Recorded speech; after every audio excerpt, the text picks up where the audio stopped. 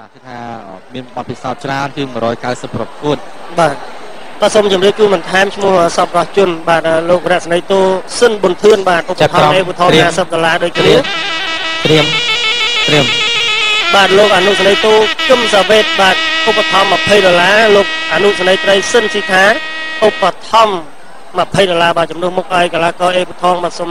ជូនពរឲ្យសពរដ្ឋជនទាំង5រូបរបស់យើងបាទ មានសុខភាពល្អបាទជោគជ័យរាល់កតាបការងាររបស់បាទសូមអរគុណត្រៀមត្រៀមគូទី5ដែលជាគូឯកទឹកទី1បាទសូមអរគុណបន្ថែមទៀតបាទដល់ទៅដល់លោកត្រៀងច័ន្ទបាទរស់នៅសហរដ្ឋអាមេរិកលោកកំពុងទស្សនាផ្ទាល់នៅសហរដ្ឋអាមេរិកបាទលោកបានជួយឧបត្ថម្ភដល់លោកជួនសំណាង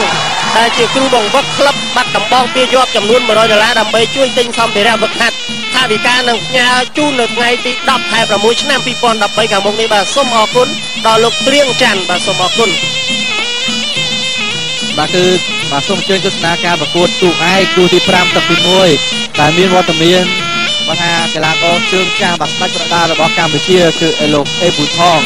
នៅពេលនេះគឺលោកអេប៊ូថងមានវ័យ41ឆ្នាំទៅហើយប៉ុន្តែលោកនៅតែស្រឡាញ់វិស័យកីឡាប្រដាល់ និងវិលត្រឡប់មក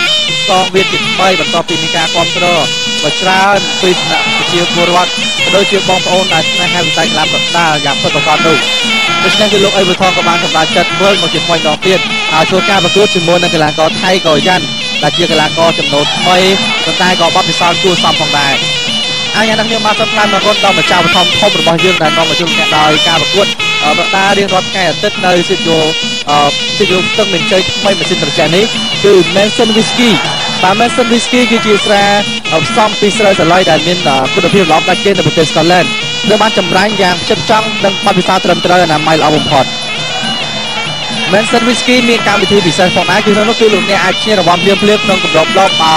បើភ្លាមឈ្នះភ្លាមគឺចាប់ពី1000រៀលរហូតដល់ទៅ2រៀលរៀលហើយអាចបដូរបានរង្វាន់តាមគ្រប់ទីកន្លែងដែលមានលក់ស្រា Manson Whisky សម្រាប់សម្រាប់កម្ពុជាបឲ្យសោះបាទ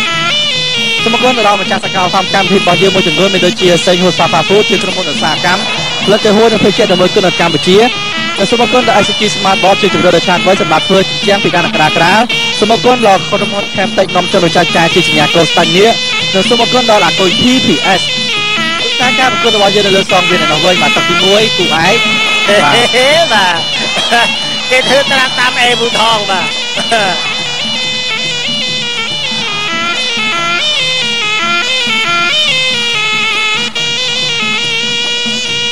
លោកឆ្វេងលោកឆ្វេងថែមស្រាមសងអេវូថងតតស្រាមមួយជើងអេបាទក៏យ៉ាងក៏លោកដៃស្ដាំមកសងបាទ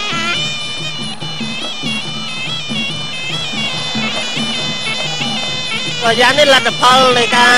ជ័យជំនះរបស់គេ3ដងនេះគេគេបដូរគូប្រកួតឲ្យសន្លប់ទាំង3ដងបាទអាយ៉ា តើអាយ៉ាជើងស្រាមមួយដៃស្រាមថែម